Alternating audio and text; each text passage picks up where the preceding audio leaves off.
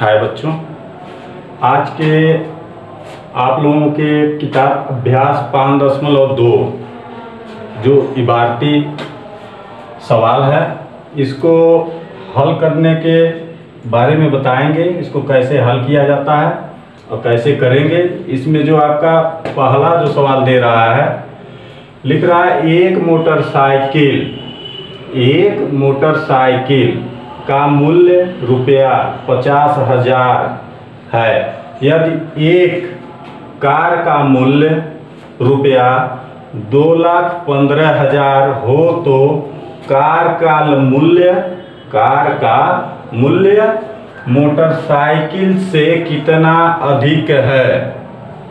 जैसे पहले भी हम आप लोगों को बता चुके हैं, इबारती सवाल का मतलब ये होता है जब तक आप उसको ध्यान से पढ़ेंगे नहीं, जब तक इसको आप ध्यान से पढ़ेंगे नहीं तो आप समझ नहीं पाएँगे कि इसमें हमें क्या करना है। जोड़ना है कि घटाना है। तो इसके लिए सबसे ज़रूरी इसमें होता है कि जो भी प्रश्न या सवाल है दिया हुआ, उसको ध्यान से पढ़ें। को क्या दे रहा है, क्या कह रहा है और क्या पूछ रहा है। तो यहाँ पे आप ध्यान देंगे अगर तो आपको पता चल जाएगा कि हमें इसको आपस में जोड़ना है कि घटाना है, कैसे हमें यह चीज़ प्राप्त होगा। जैसे यहाँ पर पूछा है ना, साइकिल से कितना अधिक है? मोटरसाइकिल से कितना अधिक है? कार का मूल्य मोटरसाइकिल से कितना अधिक है? तो जब तक आपको ध्यान से पढ़ेंगे नहीं तो आप समझ नहीं पाएँगे कि हम ये जो संख्याएँ दी हैं, इसको कैसे हम करें। तो सबसे पहले इसीलिए आपको ध्यान से इसको पढ़ना होगा। तो दोबारा फिर देखिए हम पढ़ते हैं, एक मोटरसाइकिल का मूल्य कितना है? पचास हज़ार। कितना है? पचास हज़ार मोटरसाइकिल। यदि एक कार का मूल्य दो लाख पंद्रह हज़ार है तो कार का मूल्य मोटरसाइकिल से कितना अधिक? तो कैसे क्या करेंगे यहाँ पे? इसमें कार का मूल्य अधिक है ना? कार का मूल्य मोटरसाइकिल की अपेक्षा ज़्यादा है। ये सिर्फ़ पचास हज़ार है और कार का दो लाख है। तो यहाँ कार का मूल्य ज़्यादा है। तो इसमें से हम मोटरसाइकिल के मूल्य को जब घटाएँगे तो जो अंतर प्राप्त होगा, जो हमें घटाने पे प्राप्त होगा, वही वह दोनों के बीच का अंतर भी होगा और वह साइकिल से उसका कार का मूल्य उतना अधिक वही आंसर होगा। तो यहाँ पे इसको हम घटाएँगे। यहाँ पे घटाना, जब हल करेंगे यहाँ पे तो यहाँ लिखेंगे कार का मूल्य।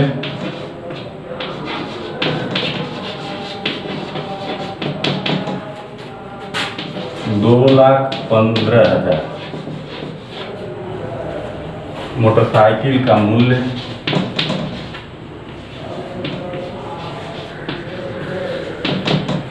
कितना है? पचास हज़ार। यहाँ इसको घटाएँगे। तो जैसे घटाना में आपको पता है, ज़ीरो में से ज़ीरो गया, ज़ीरो। यहाँ भी ज़ीरो, यहाँ भी ज़ीरो। पाँच में से शून्य गया, पाँच में से कुछ पाँच हो गया। यहाँ दो में से पाँच नहीं जाए एक में से पाँच नहीं जाएगा। तो यह इससे हासिल लेगा। इसके पास ग्यारह ग्यारह में से पाँच जाता कितना बचता है? छः। यहाँ कितना बचा? एक। यहाँ एक लिख देंगे। अब यह जो संख्या आपको प्राप्त हुई है, जो अंतर प्राप्त हुआ है, यह क्या दर्शाता है? यहाँ पे यही ये हुआ कि कार का मूल्य, कार का मूल्य मोटरसाइकिल से एक लाख पैंसठ हज़ार रुपया अधिक है। कितना? एक लाख पैंसठ हज़ार रुपया अधिक है। यहाँ आप लिखेंगे उत्तर में।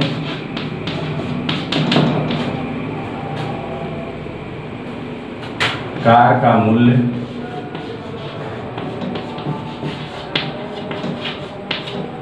मोटरसाइकिल से।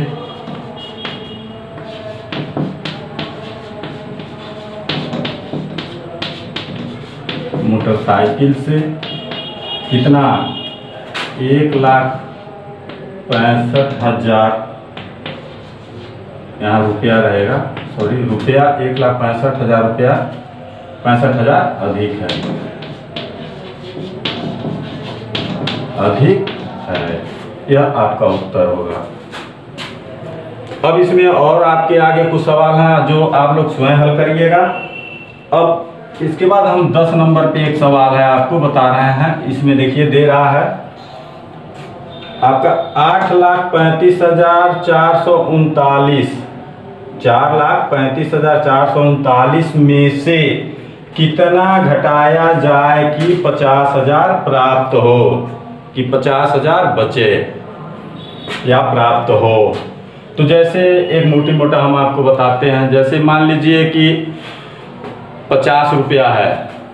पचास रुपया में से आपको पचास है कुछ भी समझ लीजिए पचास है। पचास में से कितना घटाया जाए कि दस प्राप्त हो। दस बचे मतलब। तो क्या करेंगे? पचास में से दस जब आप माइनस करेंगे, तभी ना पता चलेगा। पचास में से कितना घटाया जाए कि दस बचे? तो जब पचास को दस से माइनस करेंगे, पचास को माइनस दस करेंगे, जो बचेगा वही होगा। तो पचास में से दस घटाते हैं चालीस। इसका मतलब हमें यह हुआ कि पचास में से अगर हम चालीस घटाएँगे तो हमारे पास वही दस बच रहा है। तो सेम उसी तरह से यहाँ पे भी जो दिया है, आठ लाख पैंतीस हज़ार चार सौ उनतालीस में से कितना घटाया जाए कि पचास हज़ार प्राप्त हो? तो इस संख्या में से जब हम इस संख्या को घटाएँगे, जो अंतर मिलेगा, वही आंसर होगा। अब देख लीजिए कैसे। जैसे मान लीजिए, चलिए हम यहाँ हल करते हैं। हल। आठ लाख पैंतीस हज़ार चार सौ उनतालीस। में पचास हज़ार। पचास हज़ार माइनस। घटाइए नौ में से ज़ीरो गया नौ, तीन में से तीन, चार, पाँच। अब यहाँ यहाँ जाएगा नहीं, तेरह। तेरह में से पाँच गया, कितना बचेगा? आठ। यहाँ कितना हुआ है? हासिल दिया है ना, यहाँ सात हुआ है, सात।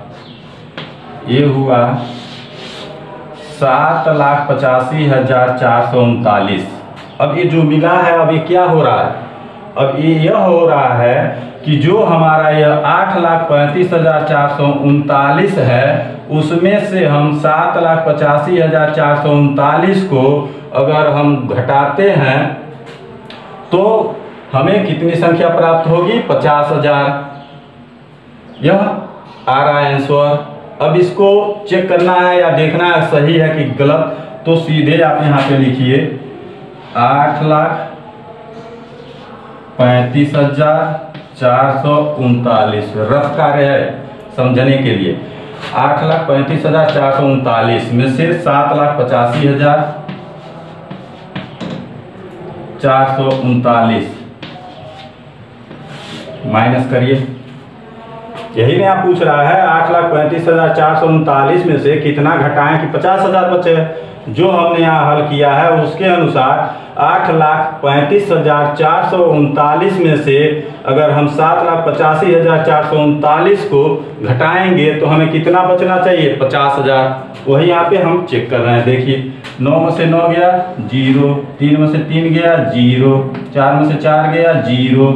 पाँच में से पाँच गया, ज़ीरो। अब यहाँ तीन में से आठ नहीं जाएगा, हाथ से लेगा। इसके पास कितना हो जाएगा? तेरह। तेरह में से अगर आठ आप घटाते हैं तो कितना बचेगा? तेरह में से आठ अगर घटाते हैं तो कितना बचेगा? पाँच ना?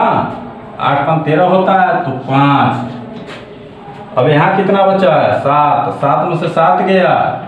कुछ नहीं। क्या हुआ यह? कितना आया? पचास हज़ार। तो सही है ना सवाल? अब यहाँ एक बार दोबारा बताते हैं। ध्यान से देखने वाली भारतीय सवाल ध्यान से देखने और पढ़ने के बाद आप आसानी से उसको हल कर सकते हैं। देखिए अब आठ लाख पैंतीस हज़ार चार सौ उनतालीस में से कितना घटाया जाएगी पचास हज़ार प्राप्त हो तो हम वहाँ पे इस तरह के सवाल में तुरंत क्या करेंगे? आठ लाख पैंतीस हज़ार चार सौ उनतालीस, जो भी संख्या यहाँ दिया मान लीजिए जैसे उदाहरण के तौर पे हम यहाँ पे दे रहे हैं, लिख दिया है कि पाँच हज़ार। पाँच हज़ार में से, ये पाँच हज़ार संख्या हो गई। पाँच हज़ार में से कितना घटाया जाए कि यहाँ पे एक हज़ार प्राप्त हो? पाँच हज़ार में से कितना घटाया जाए कि एक हज़ार प्राप्त हो? तो इस जगह कोई भी संख्या अगर दिया हो, और यहाँ पे भी कोई संख्या दिया हो तो हम वहाँ पे सीधे बड़ी संख्या में से छोटी संख्या को घटा देंगे। और घटाने के बाद जो प्राप्त होगा, वही संख्या यहाँ पे आंसर होगा। जैसे अगर पाँच हज़ार में से कितना घटाया जाए कि एक हज़ार प्राप्त हो तो पाँच हज़ार में से एक हज़ार घटाइए, कितना मिलेगा? चार हज़ार। कितना मिलेगा? चार हज़ार। तो अब चार हज़ार वही क्या हुआ? आंसर हुआ। अब पाँच हज़ार है, अगर पाँच हज़ार में से चार हज़ार चेक करते हैं, माइनस घटाते हैं तो कितना बचता है? एक हज़ार ही बचेगा ना? तो इस तरह से आप यहाँ पे कोई भी संख्या लिखा हुआ हो या दिया हुआ हो तो आप सीधे इस तरह से घटाएँगे। आपका जो प्राप्त होगा वही वह आंसर हो जाएगा। तो इस तरह से कोई भी रहे, आप लोग ध्यान दीजिएगा सवाल का। तो यहाँ पे आपका सात लाख पचासी हज़ार चार सौ उनतालीस। तो हमें यहाँ पे आंसर लिखेंगे, उत्तर लिखेंगे। उत्तर ध्यान दिया में से कितना घटाया जाए कि पचास हज़ार प्राप्त हो तो यहाँ लिखेंगे। सात लाख पचासी हज़ार चार सौ उनतालीस घटाया जाए।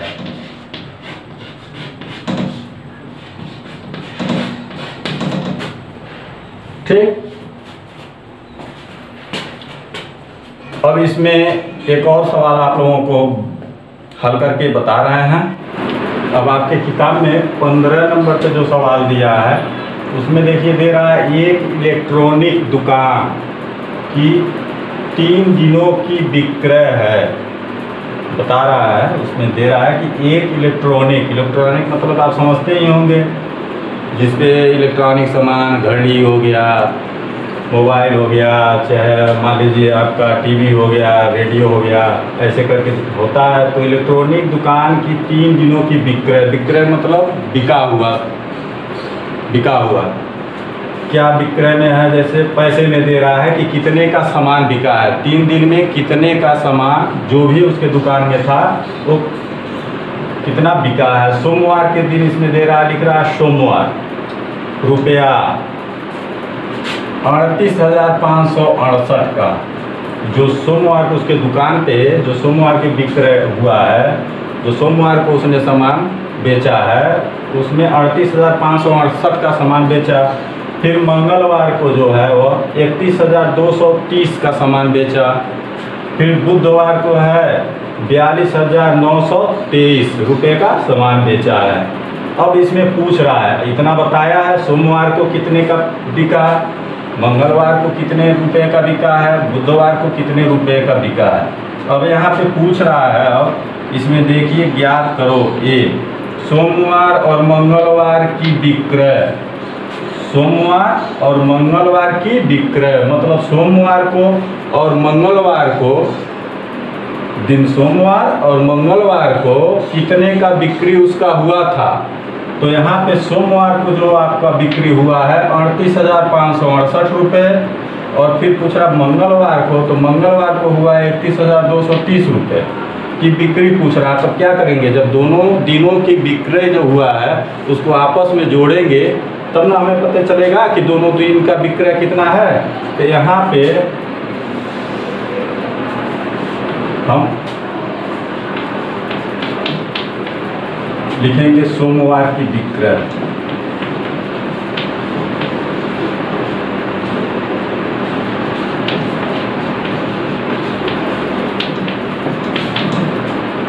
कितना? अड़तीस हज़ार? पाँच सौ अड़सठ। अब मंगलवार को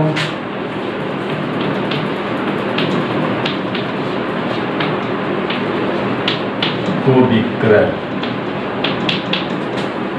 इकतीस हज़ार दो सौ तीस।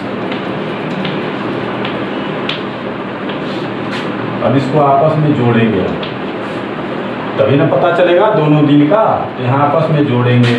तो यहाँ आपका हो जाएगा आठ, यहाँ हो जाएगा नौ, इधर हो जाएगा सात, पाँच और दो सात, और आठ एक नौ, तीन तीन छः ये हो गया आपका उनहत्तर हज़ार सात सौ अंठानवे। ये क्या हुआ?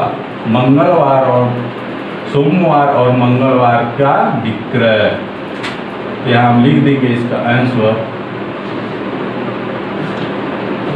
ए का जो है, उत्तर।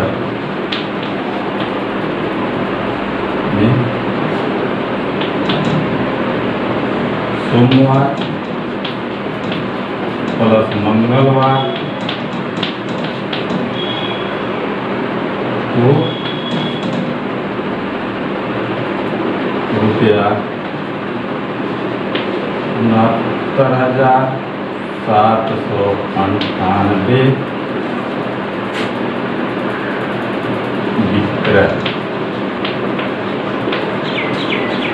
ये आपका ए का आंसर है। ए में पूछा है सोमवार और मंगलवार की विक्रय। तो सोमवार और मंगलवार की विक्रय कितना हुआ है? उनहत्तर हज़ार सात सौ अंठानवे। अब दूसरा जो आपका पूछ रहा है, इसमें बी में दिखा है कि मंगलवार और बुधवार का। अब यहाँ पे मंगलवार और बुधवार का पूछ रहा है कि कितने का बिक्री उसका हुआ है। तो मंगलवार और बुधवार के दोनों विक्रय का आपस में जब जोड़ेंगे, तब हमें पता चलेगा। इसको नोट कर लीजिएगा, यहीं पे हम फिर दोबारा इसको हल करने जा रहे हैं। अब है जो मंगलवार और बुधवार। तो मंगलवार को कितना हुआ है? इकतीस हज़ार दो सौ तीस।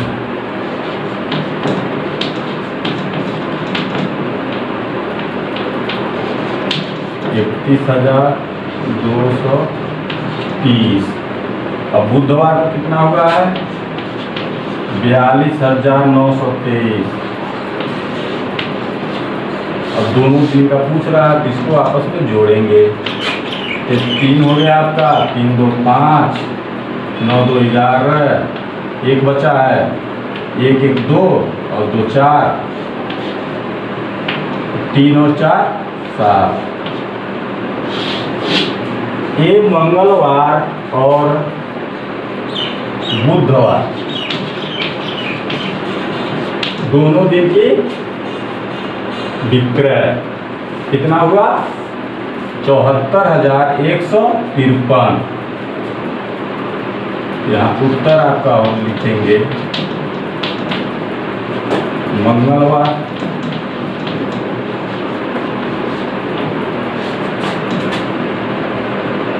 और बुधवार की विक्रय की रुपया चौहत्तर हज़ार एक सौ तिरपन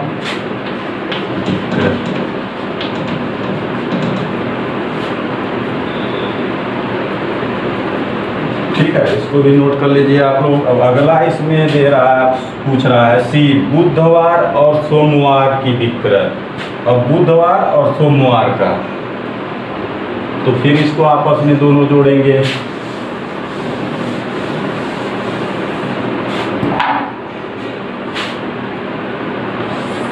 सी है बुधवार और सोमवार। तो बुधवार को कितना है? बयालीस हज़ार नौ सौ तेईस।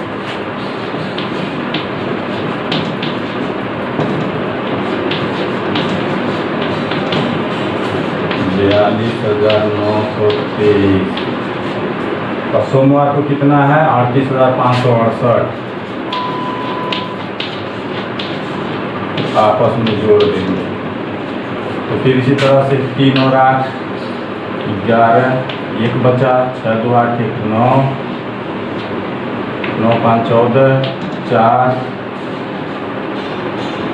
दो आठ दस दस एक ग्यारह चार तीन सात सात एक आठ यह क्या हुआ? ये बुधवार और सोमवार को विक्रय का ये हमें पता चला कितने की बिक्री हुई थी।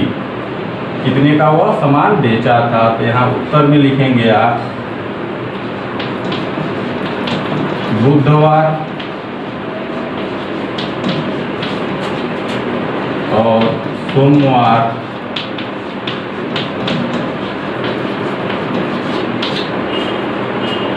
की विक्रय की रुपया इक्यासी हज़ार चार सौ इक्यानवे विक्रय। अब अगला देखिए क्या पूछ रहा है। डी में सोमवार और मंगलवार के विक्रय का अंतर। क्या पूछ रहा है? सोमवार और मंगलवार के विक्रय का अंतर। तो अंतर अब यहाँ है, सोमवार और मंगलवार के विक्रय का अंतर का मतलब क्या होता है? दोनों में माइनस घटाया जाता है, तभी ना अंतर पता चलता है।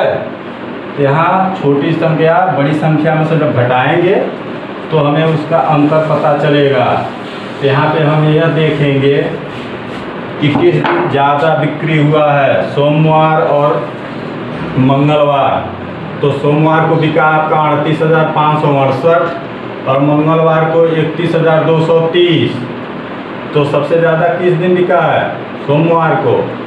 तो यहाँ घटाएँगे सोमवार में से मंगलवार के विक्रय का। तो सोमवार को बिका है अड़तीस हज़ार पाँच सौ अड़सठ मंगलवार को इकतीस हज़ार दो सौ तीस। अंतर ज्ञात करना है तो यहाँ घटाएँगे। अब घटाएँगे इसको तो आठ में से ज़ीरो गया, आठ छः में से तीन गया, तीन, पाँच में से दो गया, तीन, आठ में से एक गया, सात, तीन में से तीन गया, ज़ीरो। तो कितना अंतर आया? सात हज़ार तीन सौ अड़तीस रुपये का। कहने का मतलब ये है कि सोमवार और मंगलवार में विक्रय का जो अंतर है, रुपये का जो अंतर है वह सात हज़ार तीन सौ अड़तीस है। तो सोमवार, उत्तर जो होगा आपका, सोमवार और मंगलवार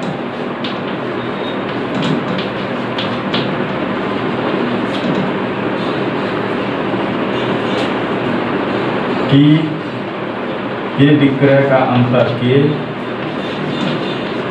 विक्रय का अंतर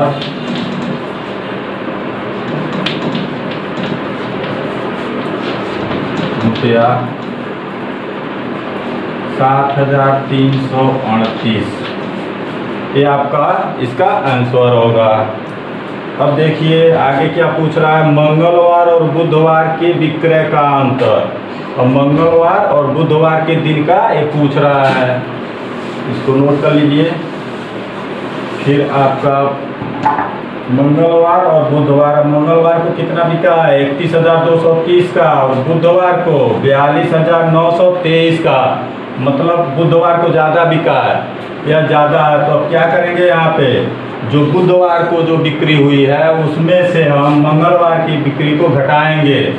यहाँ सबसे ज़्यादा बुधवार को हुआ है तो लिखेंगे यहाँ पे बुधवार को की बिक्री, विक्रय। कितना है? बयालीस हज़ार नौ सौ तेईस।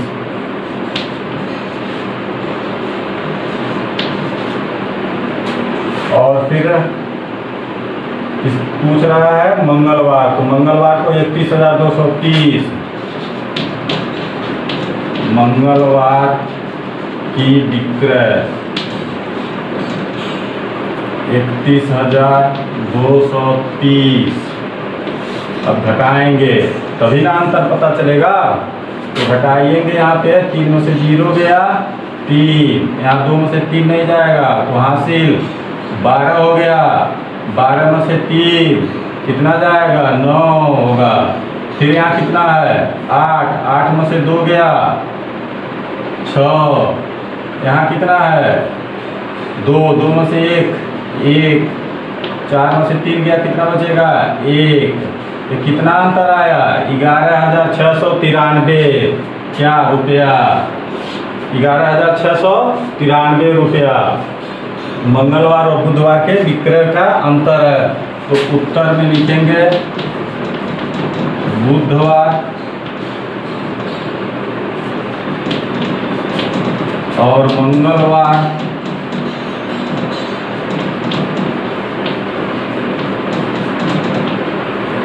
के विक्रय का अंतर। रुपया ग्यारह हज़ार छः सौ तिरानवे। यह आपका आंसर होगा। फिर अब पूछ रहा है कि अगर वह बृहस्पतिवार को रुपया कितना, बासठ हज़ार दो सौ पैंसठ का सामान क्रय करता है तो उसके पास धनराशि शेष मतलब कितनी बची है? धनराशि शेष मतलब कितना बचा है? ये पूछ रहा है। तो सबसे पहले क्या करेंगे हम? यहाँ पे यह न दे रहा है कि वह बासठ हज़ार दो सौ पैंसठ का सामान खरीद लिया। किस दिन? बृहस्पतिवार को। तो सबसे पहले हमें ये जानना होगा कि उसके पास तीन दिन में कितने पैसे का वो बिक्री किया था। तो तीनों दिनों का बिक्री जो हुआ था, जो विक्रय हुआ था, उसको आपस में जोड़ेंगे, जो हमें प्राप्त होगा, उसमें से अब कितना ये खर्च किया है, कितने का सामान लाया है, उसको जब हम घटाएँगे तो उसके पास बची हुई धनराशि का पता चलेगा। तो यहाँ पे अब हम सोमवार और मंगलवार और बुधवार तीनों दिन का बिक्री का हम देखेंगे कितना पैसा इसको प्राप्त हुआ था। तो यहाँ पे सोमवार का हल में सोमवार को कितना? अड़तीस हज़ार पाँच सौ अड़सठ। फिर मंगलवार को कितने का बिक्री हुआ? है इकतीस हज़ार दो सौ तीस। बुधवार को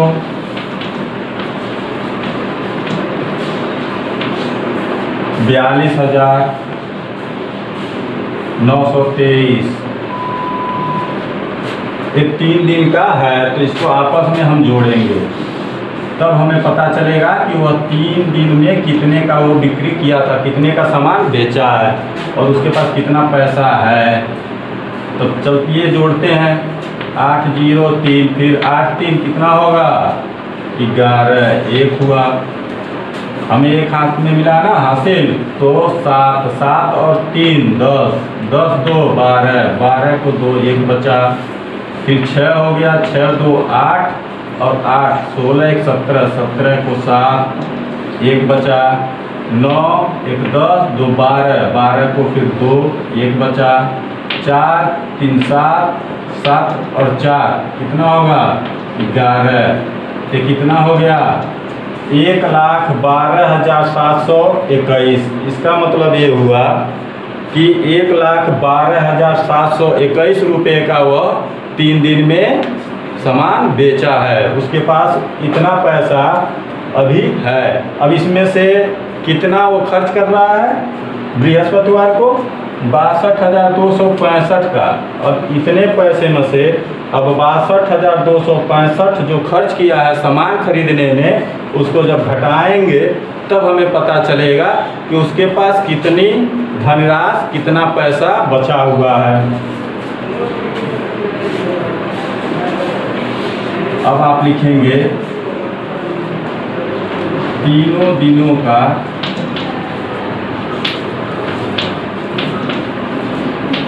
का विक्रय